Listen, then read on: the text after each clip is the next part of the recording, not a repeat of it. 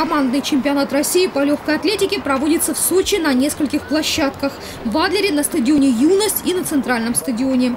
Принимают участие более 600 спортсменов. Это сильнейшие команды из регионов России. Погода сегодня нас радует, сами видите. А, тут дожди заливали, а тут солнышко выглянуло, спортсмены довольны все. И сейчас посмотрим, как будут по результатам. А, ребята все, в принципе, в кондиции. Большинство лидеров нашей сборной здесь как раз выступает. А, ну, повторюсь, что это только начало сезона, поэтому ребята, так скажем так, пристрелочный старт.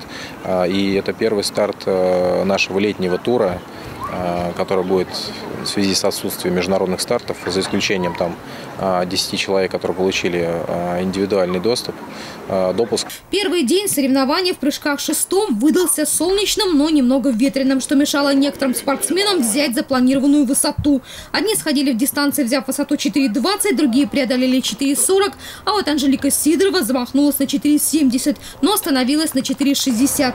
В этот раз не справилась, хотя может прыгать гораздо выше. Сама говорит, сочинский результат не показал мою готовность. В принципе, я удовлетворена сегодняшним результатом, поэтому не могу сказать ничего плохого. Да, там сегодня чуть-чуть э, подобрали шесты, потому что первый старт, опять же, всегда так каждый год начинаем. Для многих лидеров легкой атлетики этот турнир станет первым серьезным испытанием в этом летнем сезоне. У нас есть две подруги, они тоже прыгают шестом, они постарше, они участвовали в чемпионате России.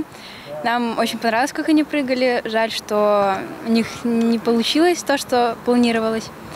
А так нам очень понравилось, как прыгала Краснова Ангелина и, конечно, Анжелика Сидорова, чемпионка Европы. На стадионе Центра спортивной подготовки «Югспорт», а также в Адлере соревнования продлятся еще и завтра. Тогда и будет определен победитель. В прошлом году в командном зачете победу одержала сборная Санкт-Петербурга. Елена Овсецина, Николай Тихонов, телекомпания «ФКТ».